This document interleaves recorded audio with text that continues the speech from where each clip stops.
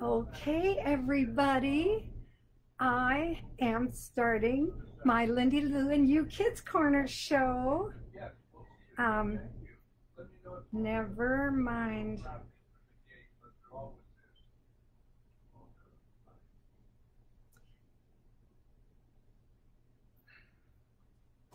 Okay, so um, I accidentally came in the wrong way, so I just changed it to Jeannie Bender, and I'm going to wait a few minutes for you guys to show up. So we're going to play a little Lindie Lou song so that my friends can join our Lindie Lou show.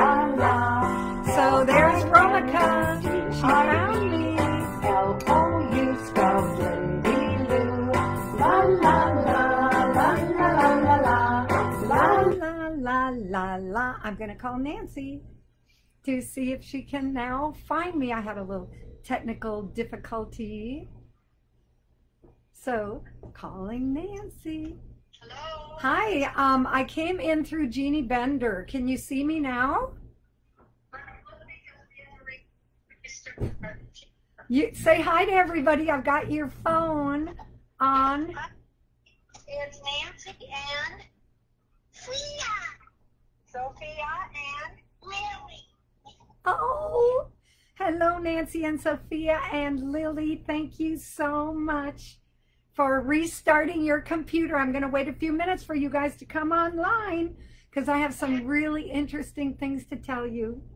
All right, go ahead. Oh. In a minute. Okay, and I am going to see. Lindie Lou, reset my video. Oh, there's Heidi. Okay. You found me good, Heidi. Hey, Heidi. Do you have Boo and Mister with you today? So glad you could find me. Hello, we're going to give you all a few minutes to find me.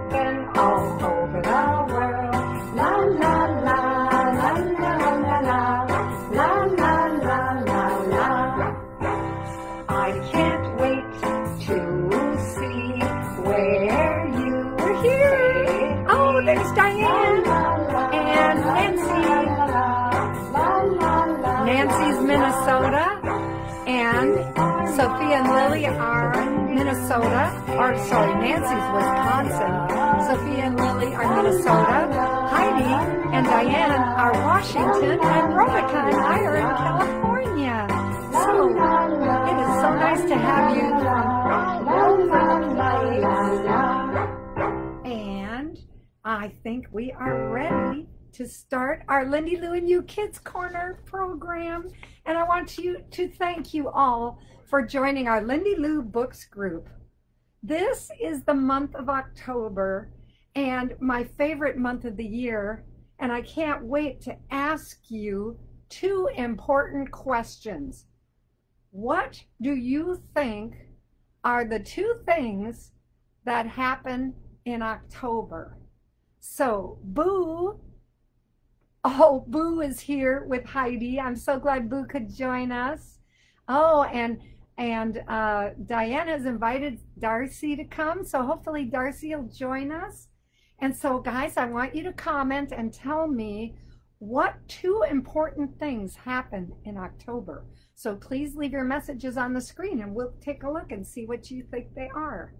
And later in the show, I'm going to share a really fun October activity for you to do at home. But before I continue, I'd like to show you my kids' corner.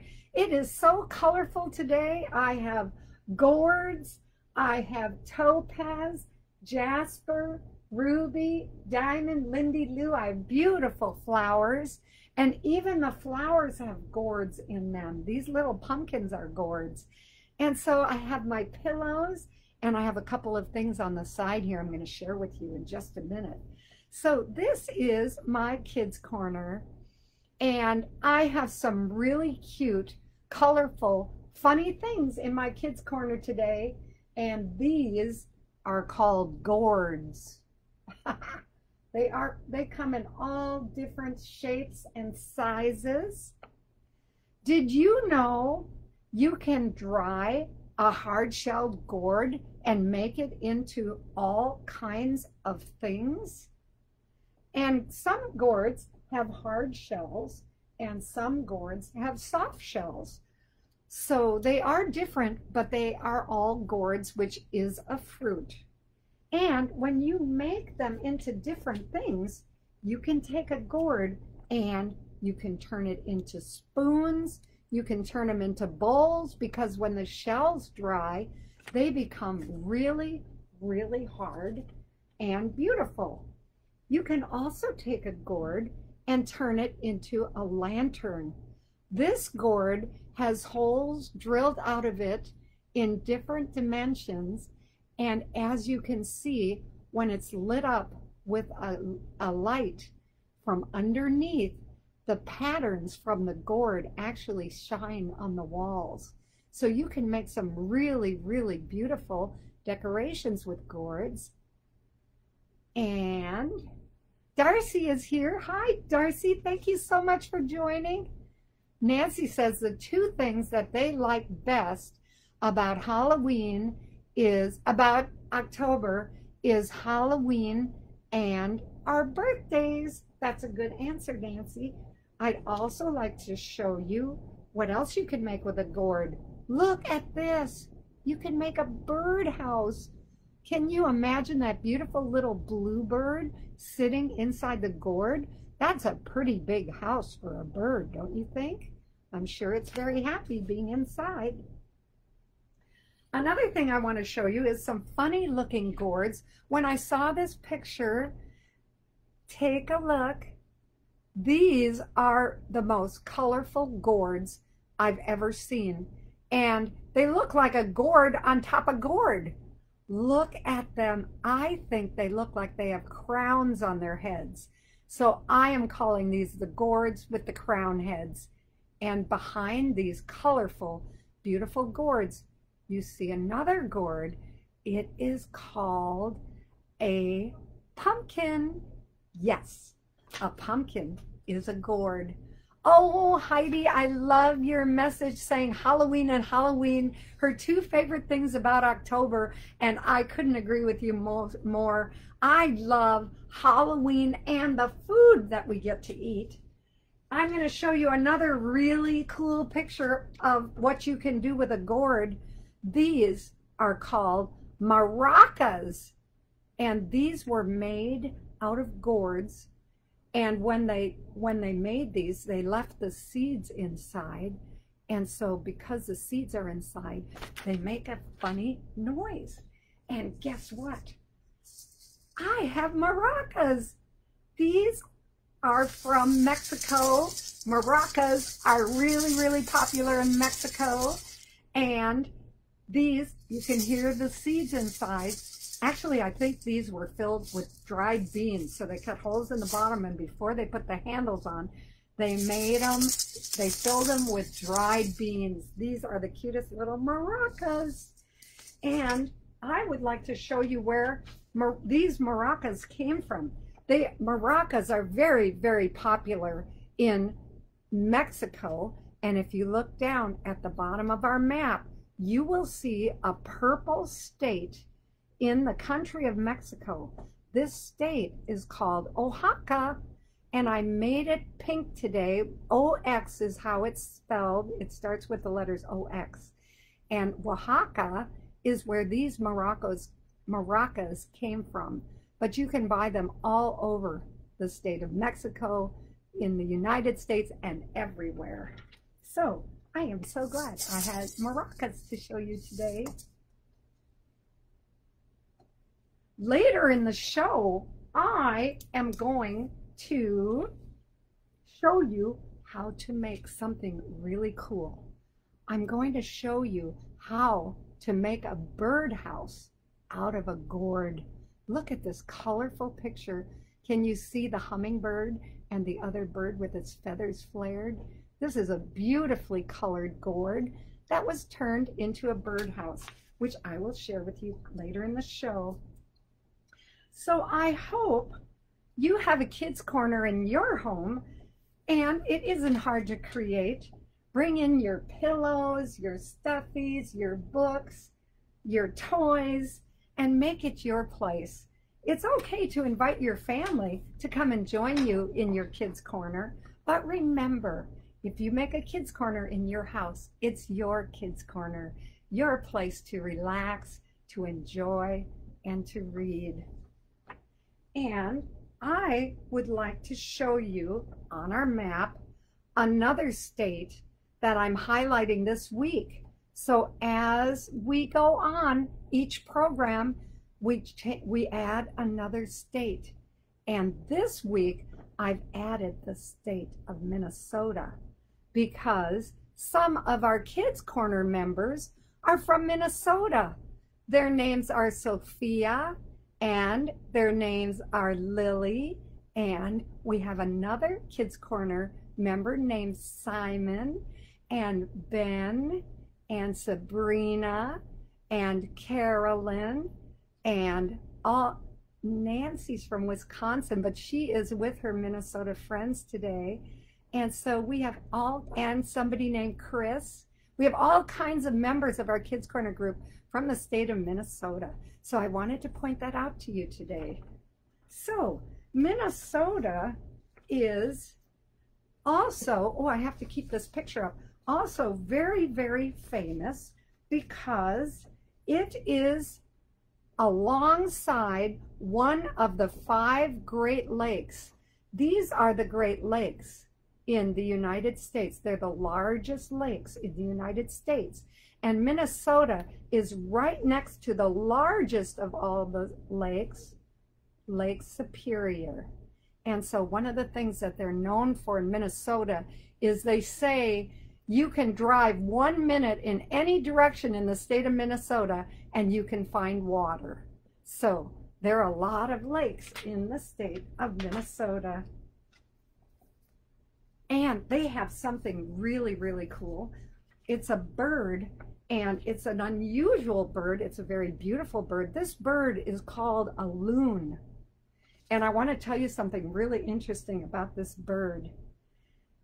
According to National Geographic, loons walk very clumsily on the earth, on land. And it is because their feet and legs are located very far to the rear of their bodies. So they have a very hard time walking, which makes them powerful swimmers because their heads are in the front and their feet are in the back. And that's how they catch their fish by swimming in the water. So loons live on the water most of their lives because they have a hard time walking. And sometimes you can see a picture of a loon and on its back will be its babies because the babies can't walk very well on land either. And I found this very interesting silhouette of a loon so you can see how far back their feet are placed on their bodies and how long their necks are, which makes them really great swimmers. Oh, Romika says Halloween and pumpkins are her two favorite things. Yes, I love pumpkins. I love pumpkin pies. I love all kinds of things about pumpkins. And now we're going to talk a little bit more about gourds. Aren't these amazing? All the different shapes. I have some fun facts about gourds. And they actually grow very, very well in the state of Minnesota. And I wonder, Nancy and Lily and Sophia, if you have ever been to a gourd farm, because I'm going to show you a picture of it. Gourds are planted in the spring and they grow on vines and are harvested in the fall. And this is the most amazing picture I found of a greenhouse. Actually, it's an outdoor greenhouse where the gourds have been planted. And as you can see, their leaves and vines are above them, and the gourds are so heavy that when they grow, they hang down into the greenhouse. I just think this is such a fabulous picture. So these gourds that we have today at one time were hanging from a vine somewhere. Maybe this one's even from the state of Minnesota. Who knows? Gourds are often used in autumn centerpieces and on dinner tables, and they're harvested in the fall, as I said. I just love them. I just think they're so colorful. And the gourd also has a cousin, and the cousin to the gourd is a pumpkin. Have any of you ever seen a white pumpkin? Well, I'm going to show you one because I saw one long time ago and I couldn't believe it because there really are white pumpkins. Pumpkins come. Oh, Nancy went to a gourd farm yesterday and bought some for Sophia and Lily. Maybe you'd like to post them on our Kids Corner page after the show. Look at this beautiful white pumpkin. So yes, it is possible to see a white pumpkin. There is a pumpkin festival in the state of Iowa called the Ryan Norland Pumpkin Weigh Off Pumpkin Fest. And I want to show you this picture because look at the size of these white pumpkins. They are absolutely amazing. And when I went to this pumpkin festival, these pumpkins, especially that large white one, which won the contest that year, actually inspired me to write about them in our Lindie Lou Adventure Series book, Harvest Time. Here we go. Whoops, whoops. harvest Time. Here's Harvest Time. And look at the cover. There's a white pumpkin on the cover. And if you go into the book, I'm going to show you a picture of, here's the white pumpkin that inspired me to include this in the Lindie Lou book, Harvest Time.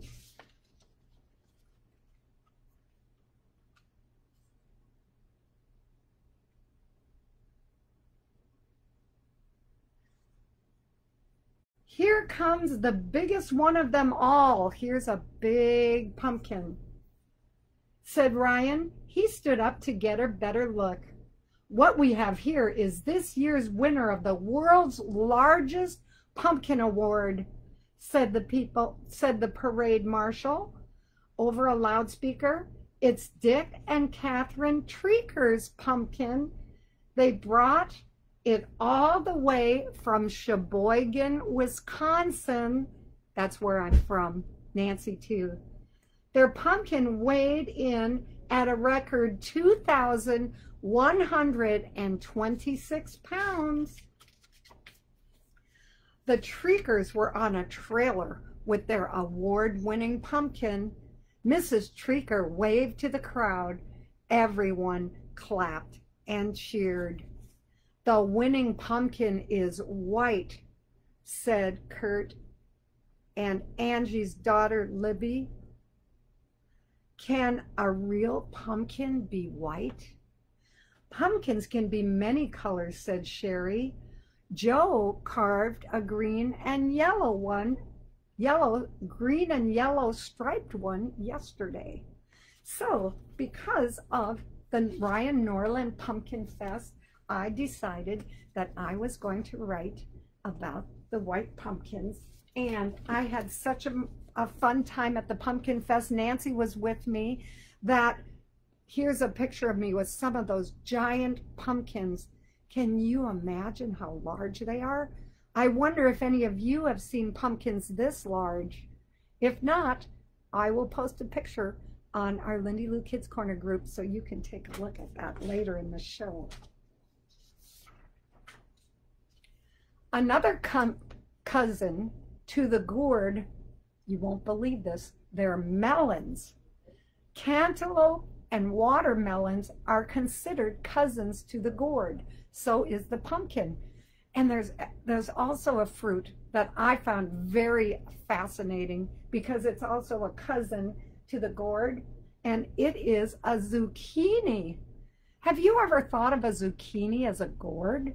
Well, it's a fruit and it has a skin and there are seeds and it is actually a cousin to the gourd. So I found out some very interesting things about gourds this week. Gourds make great decorations, but they are also very tasty. So try to cook them before they get too old. And the seeds in a gourd are edible too. I'm sure you guys have tasted pumpkin seeds. Here are some pumpkin seeds. And as you can see, when they're raw, they're green, just like soybeans in this harvest time book as well. And when they're roasted, they're brown, just like soybeans in the harvest time book. So pumpkin seeds can be eaten raw or they can be eaten, eaten toasted. And yes, I saw a picture of Heidi Diane on Facebook this morning. They went to a pumpkin festival and saw gourds and pumpkins and all kinds of things. And Kelly loves pumpkins and gourds too. So I am having so much fun sharing this story about gourds with you. And I would like to tell you that now is the time in our program where I'm going to show you how to make a birdhouse out of a gourd. First, you have to pick the gourds and you have to hang them up to dry. And so after you pick them in this beautiful greenhouse, this farmer is hanging them up to dry because he's making gourd bird houses to put around his farm. Now they don't look quite as pretty when they're drying as they do when they're fresh. They kind of dry out and get a little moldy, but you have to dry them and they actually take six months to one year to completely dry out. Then after the gourd is dry, you take it down and you have to scrub it. So this gourd was scrubbed with a copper scrubber. You can also use steel wool to scrub your gourd down and make sure you use some warm water to clean all of that mold and all of that those dry parts off of your gourd. After you scrub them, you have to uh, shake the gourd because the seeds are captured inside the meat of the gourd that is all dried out. And I have a very interesting photo for you. This shows gourds and it also shows the inside. So as you can see, gourds have have seeds all the way up and down the meat of the gourd. So when they dry out, you have to shake them so that the seeds shake down to the bottom of the gourd. And then the next step is once it's cleaned and scraped and dried out, you have to drill a hole in it. Now, the holes are very interesting and the size of the hole, see his drill over here? He's drilled a two, a one and a half inch hole in this gourd. And the size of the hole is very important because it determines what kind of bird you're going to attract. So this man likes bluebirds and they like holes the size of a one and a half inch diameter. Diameter means it's one and a half inch round. And so a larger bird can't fit into this hole. So you can get a chart and find out what diameter hole to drill in your gourd depending upon what kind of bird you'd like to at attract. Then, once you have the hole in your gourd, you can shake the seeds out and some of the pulp will come out too. This gourd would, after you shake it, Look at all the seeds that came out of this gourd. There were actually a couple hundred seeds in this gourd.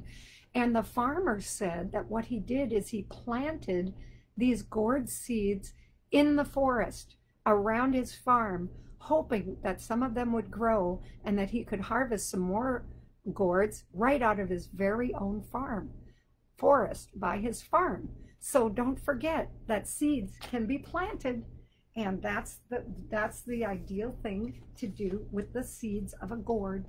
You can plant them. I'm pretty sure you can roast them and eat them too. And then the next step is you have to drill a hole for this in the stem of the gourd so you can hang a string for the gourd so you can hang up your gourd. And this is something people might not know that I think is an important fact. You also have to drill four to six holes in the bottom so that when it rains and water gets in and a bird is in there sitting on its nest, the water can drain out so it doesn't get moldy underneath the bird's nest. So it's important that you drill holes in the bottom of the gourd. And the next thing this farmer did is, he didn't have to do this, but he decided to sand around the hole to make the hole smooth so that the bird would have a soft entrance. And I thought that was very thoughtful because it's not necessary, but it is something he does with a little piece of sandpaper. Yes, and you can cook those seeds spicy and salty and sweet, just like Heidi said. I would like to hear how many of you guys have had pumpkin seeds this October already. So I would just like to show you that a gourd can become a very, very pretty birdhouse. This one has also been varnished. And because the varnish is a protective coat that is placed on the front of the gourd, it makes them last longer. So if you are interested in making a gourd birdhouse, there are lots of instructions on the internet, or you can replay this video. And as you can see, this dried, old, moldy gourd can be turned into a beautiful birdhouse. And so this is an exciting thing. Birdhouses, don't you? And isn't it amazing that you can make it out of something from nature? Well, birdhouses are hung near gardens because birds like to eat insects. And this farmer told me that he hangs them near his garden to help keep the garden insect free. So I think that's really clever too. Oh, Nancy thinks they're beautiful. Oh, garlic and cinnamon, uh, sugar, and air fried seeds. Oh my gosh, they sound so good, Kelly. And Romica says she loves pumpkin seeds. They always have them in their home. Oh, isn't that great? I'm so glad to hear this. Now, I bet you would like to make a gourd uh, birdhouse in your home, but birdhouses made of gourds take a long time to make because you have to dry the gourd for six months to a year. So I'm going to show you how to make a birdhouse with things that you might have around your home. And this is a birdhouse we're going to make together today. And here they are. These birdhouses were made with water bottles. Aren't they adorable? I'm sure a lot of you have water bottles or different kinds of containers around your house. I'm going to show you how to make this birdhouse. It's really quite simple. So what you do is you take a plastic bottle. I'm trying to hold this up so you can see it. I've already cut it up. You take a plastic bottle and you cut the top off. There's the top. And you cut the middle out. There's the middle. So again, you take a scissors and you cut the top off. And I've decorated this with a Sharpie. And Sharpies came, come in many different colors, or you can paint them like the ones I show you. And then you cut the middle out. And then you cut a door inside the plastic. It's very easy to cut a door into this plastic because it's very thin. Then what you do after you decorate your birdhouse is you take some crazy glue or some Elmer's glue or some kind of glue and you put the roof on and as you can see This makes a birdhouse very similar to these. And all you have to do is poke a hole in the top and put in a string and you can hang these birdhouses all over the place outside. Now, this one is so little, I hope that it will attract a hummingbird. But I also want to remind you to make sure you poke holes in the bottom.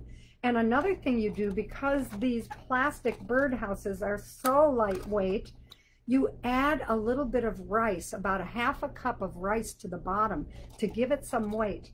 Then you poke a hole and you tie a string through it, and then you can hang up your very own birdhouse. And if you live in California, I'm sure a bird will come and make a nest very soon. And if you live in Wisconsin, you can actually look for them and hang them and wait for the spring. I, I know you also have birds that are there all, all around. Oh, and oh my gosh, Alicia just came in and I'm saying hi to Alicia. She is a lady from Los Angeles that I have known for almost 40 years and I'm so glad you found us. Hola, ¿cómo está Alicia? We call her Licha sometimes. ¿Cómo está Licha? Muy bien. So nice to see that you joined us. Uh, and Kelly, I know Kelly and Caleb are going to love to make this birdhouse. So I'm just going to show you this picture very quickly as a summary. You take a water bottle, you cut off the top, you cut a little bit off the center so that the narrow part can form the roof and you can use paints to color your birdhouse anything you like. Don't forget to poke holes in the bottom and a hole in the top for your string and don't forget to put some rice in it so that it can hang heavily on the bottom. Now, I want to show you another idea for pictures of birdhouses in case you don't have any plastic bottles. Look at these these birdhouses were made from milk cartons, orange juice cartons, any kind of cartons you have at home. Isn't that cute? This one's an owl. This one's really pretty. It's pink. I love the way it's been painted. And if you stick sticks in it, maybe even a bird will sit on one of the sticks if you're setting it on a porch. But if you are, make sure you put rice in it or rocks in it so that your birds can sit and it won't tip over. Now I'm going to show you a really, really funny, funny birdhouse. Oh, Nancy and Alicia are connecting for the first time in about 20 years, I bet. I'm so glad to see that. Did you know you can make a birdhouse out of a bleach bottle as well? These are plastics that are in our envi environment and we actually have too many of these. So the more things we can use our plastics for, like I can cut a hole in this and turn it into a scoop. If I'm playing in a garden or in the sand, you can use these plastics for all kinds of things. But today, we may, I'm going to show you a picture of a birdhouse that was made out of this very own bleach bottle this bleach bottle was turned into this cute little birdhouse. Look at the shells that are glued to the front and they put sticks along the side. I think they actually look like pencils. Oh no, they're just straw. And then they put this beautiful straw on top called raffia, which is really, really fun. It comes in many different colors. And they made a beautiful birdhouse out of a bleach bottle. I am so glad that you guys are getting to talk and connect through our Lindie Lou Facebook page. It's one of the reasons that I use Facebook because I love communicating with all of you and I love seeing all your names come up. And this reminds me of a life lesson, all these birdhouses. Boys and girls, parents, teachers, moms and dads, you can't always have something you really want. Maybe it's too expensive, or maybe, like a gourd, it takes too long to dry. because gourds take six months to a year to be ready to make a birdhouse with. So here's my life lesson. Picture a birdhouse, and I'm going to show you one more because I want to give you lots of ideas. Here is another birdhouse. Do you know what this birdhouse was made from? It kind of looks like an ice cream container, which it might be. See the hole? The hole is right here for the bird, and they decorated it very nicely. But this was actually made from a yogurt container. So look at all these great ideas for making birdhouses. I would love you guys to send me pictures of the birdhouses you make.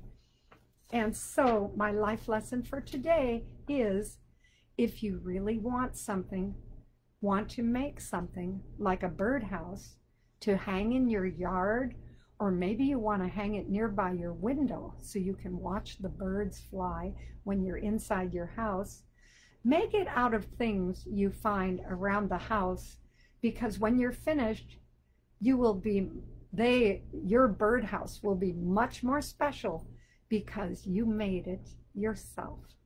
So that is my life lesson for today. Oh, Caleb needed a life lesson today. Well, I hope I've inspired him to build a birdhouse and send me a picture.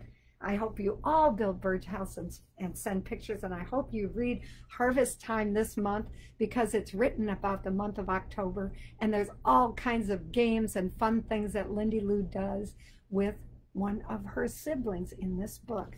So please make sure you pick up Harvest, Harvest Time and learn a little bit more about how much fun Lindie Lou has in October. So our program for this week has come to an end. And I want to thank you so much for joining us today. Thank you for joining me in my colorful kids corner. And Lindie Lou and I want to tell you that we very much enjoyed seeing you all today. And we will see you next week in our Lindie Lou and You Kids Corner because I have something very interesting to share with you about October next week. So for now, I want to say thank you for joining our Kids Corner.